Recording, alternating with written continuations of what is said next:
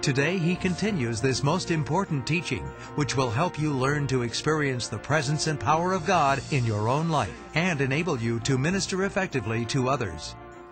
The anointing of the Lord, which we call the power of the Lord, is found hidden in the presence of the Lord. Now, let me explain.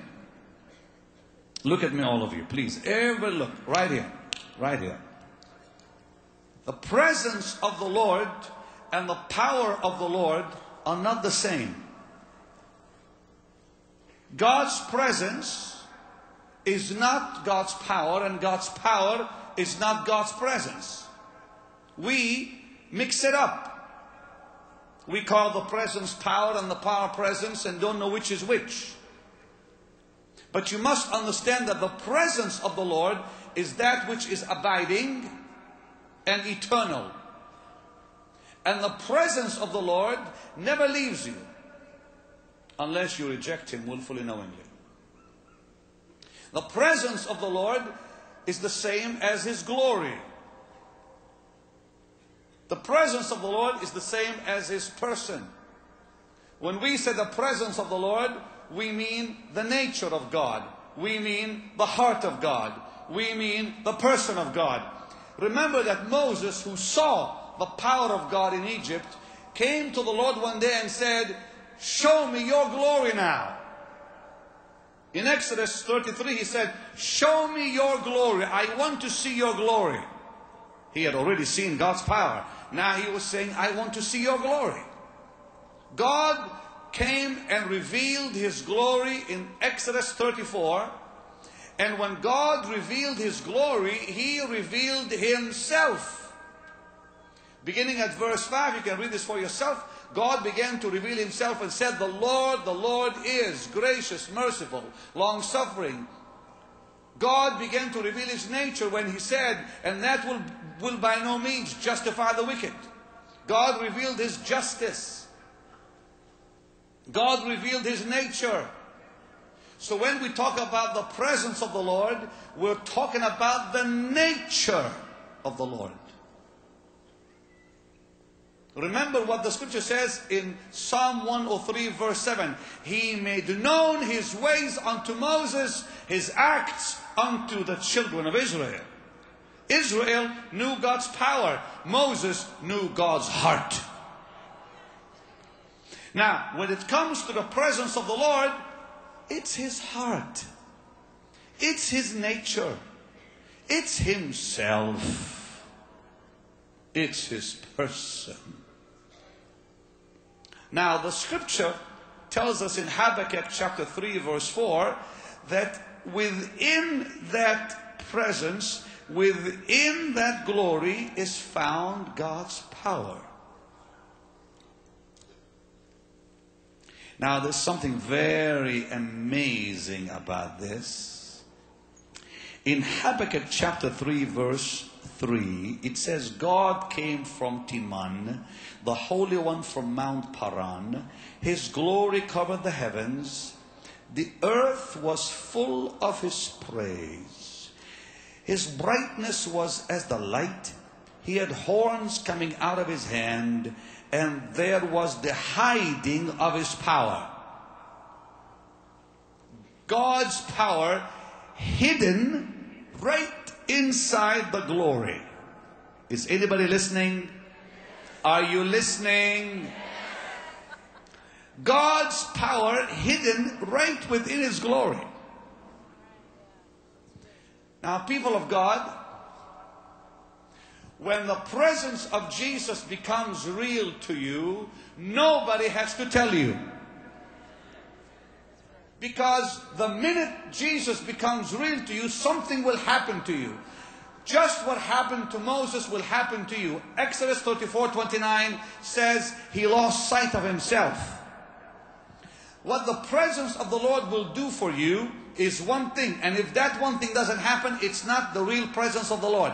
The presence of the Lord will not awaken your feeling nor stir your emotions. The presence of God stills the soul and cancels you. God's presence does not stir you. God's presence does not get your emotions all stirred up. That's the power of God that does that to you. But what the presence of God does, it stills the soul. When the presence of Jesus becomes real, the end result will be the cancellation of self. Moses said in Exodus 34 29, the scripture says, He wist not that his face had shone. The minute the presence of God came real, became real, what happened? Moses disappeared. Moses wished not. He wist not. What happened to Adam, gentlemen? When the presence of God left, he said, I'm naked. As long as the presence of God is there, people are not aware of themselves. But the second the presence of God is lifted, people notice self. So the presence of self is the absence of Jesus. And the presence of Jesus is the absence of self. It's just that simple. So when Jesus is real to you, you're not. Your reality disappears in his reality. Anybody understands that? Put your hand way up high. All of that's right. That's what the presence of God does. Now, when the presence of Jesus becomes real to us, and the presence of God becomes real to us in worship, in prayer, and in Bible study, when you sit and read the scripture alone, quietly,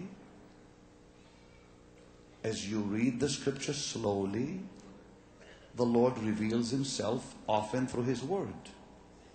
At times, he reveals himself through prayer as you're still in the presence of the Lord. Other times, God reveals himself through worship. Now, often in our meetings, God's presence is revealed as we worship. Now, there's a moment as I'm worshiping the Lord. Maybe you've noticed it, maybe you've not noticed it, but I will look to my staff and often I'll just point to the staff and this is the sign to my staff that I'm in. I, I, have developed a way to let them know I'm in. Because as, we're, as, as we are worshiping the Master, there, there comes a moment when that crowd is lost in the presence of God. There comes a precious moment when people are just so lost they can't even talk choir begins to sing Alleluia. And the people begin to bless and worship Him with such precious worship. You see the tears streaming down their cheeks everywhere. When the presence of Jesus becomes real, people just don't know what to say anymore. Even their prayer becomes, they, they, they don't even know what to say. They don't know what to pray suddenly there comes in such a such a reality that people just stand in awe of the master.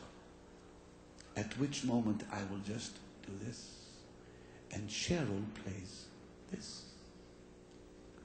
And when she does the staff moves for they know he is about to do something he does every single time. And what i do at that moment Thank you, Cheryl. Cheryl begins to play Jesus All Glorious. And the minute she begins to play, the staff know, they know this is the time he's about to release his anointing. But there's something I do on the platform, and this one thing is the most difficult thing to explain. Because this is how the power is released. You must understand what I'm talking about. If you want God to use you, you must understand what I've been talking to you about. That the power of the Lord and the presence of the Lord are not the same. That the presence of the Lord is that abiding presence While the power of the Lord is that which comes on you for a reason and a season. The presence of the Lord stills the soul, the power stirs the soul. The presence causes you to be, and the power causes you to do. The presence is that which literally nourishes your life, but it is the power that nourishes others through your life. There's a big difference between both. You must understand the presence is for you, the power is for somebody else. God's power is not for you. You are simply a vehicle used by God to touch somebody's life. The presence of the Lord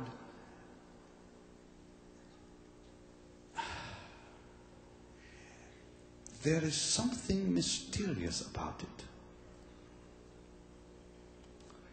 Do, do, you remember when the Lord was walking on the Sea of Galilee, ladies? And as he's walking, he made them think he was going to keep walking. Do you remember on the road to Emmaus? He's walking with the two disciples. And they came to the parting of a way, and he made them think he's going to keep walking. It's almost like at times, if I may just say it, and I pray the Lord will help me, I feel him passing by. It, it, it's no more than 10 seconds. I've never known. Greg, I have never known that moment to last more than 10 seconds. And if I miss that 10 seconds, I miss the whole service. You know what I'm talking about? You know what I'm talking about. Oral Roberts told me years ago, he said, he said the he, he, said the Lord in ministry will, will come to you or pass by you. It's up to you what you do with it. And so it's almost like you feel him just walking by, but he's looking for you to pull him. This scripture explains it better than I can say it. Listen carefully. Deuteronomy 32 13 says, and this is for somebody right here that needs it. He made him ride on the high places of the earth. The high places of the earth, gentlemen, are where the presence of Jesus is very real. Where Jesus becomes so real to you. Now, when that happens, and this is where it gets a little difficult to explain, Jesse. When that happens, you feel a pulling away. You feel as though the Lord is pulling away and you have to pull him back. You say, How? It says this He made him ride on the high places of the earth that he might eat the increase of the fields. In those high places is the wealthiest presence you'll ever experience of the Lord.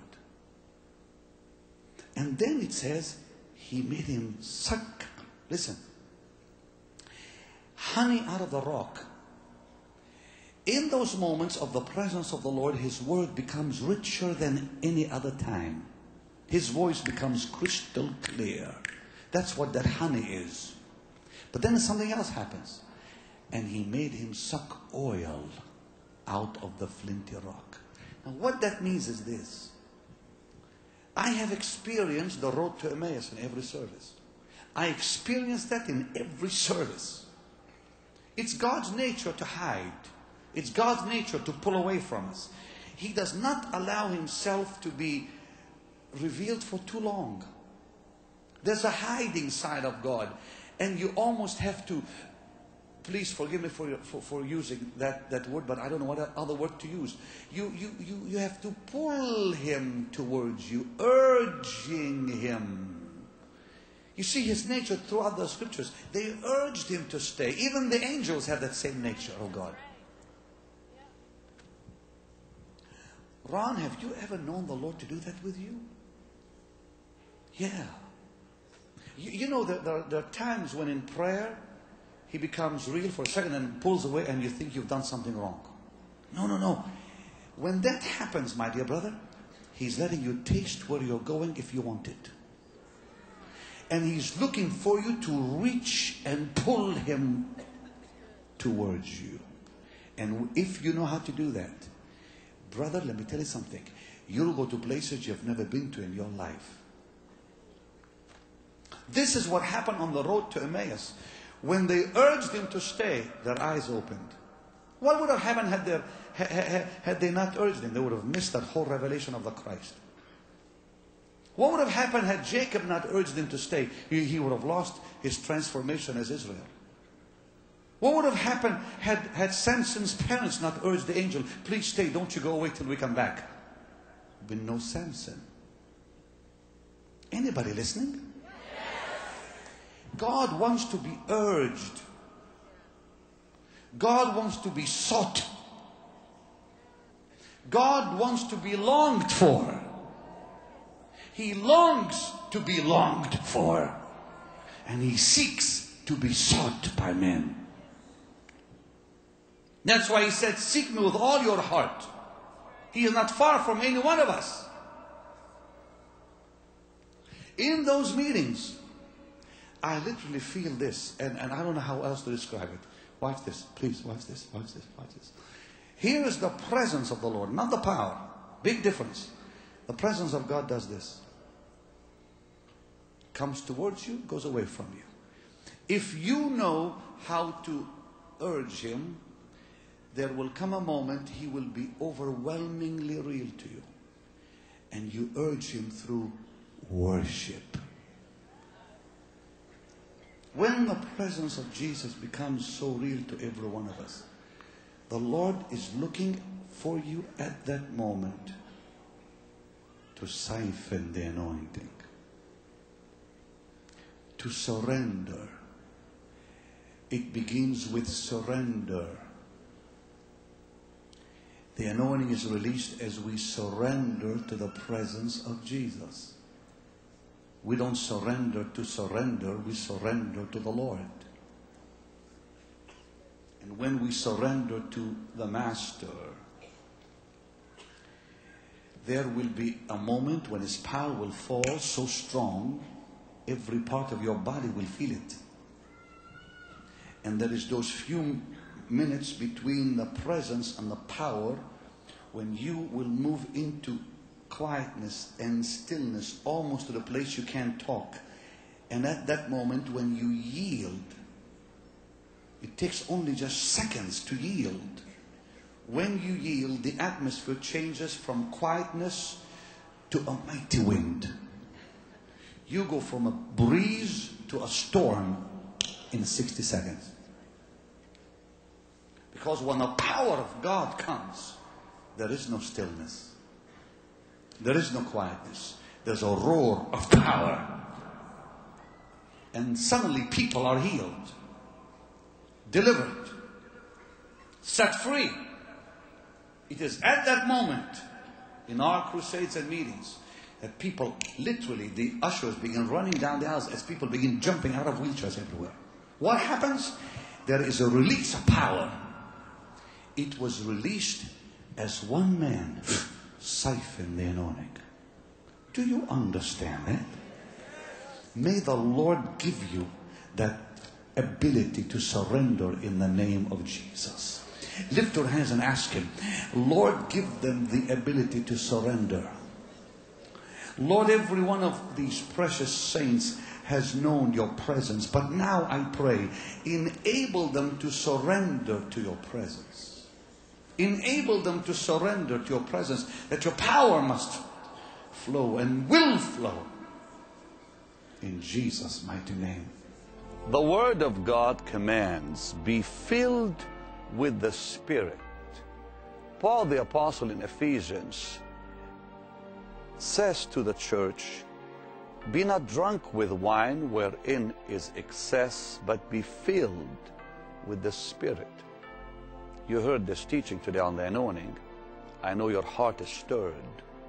But remember that the power of God belongs to those who are filled with the Spirit. And today I'm going to pray that God will again fill you with His power.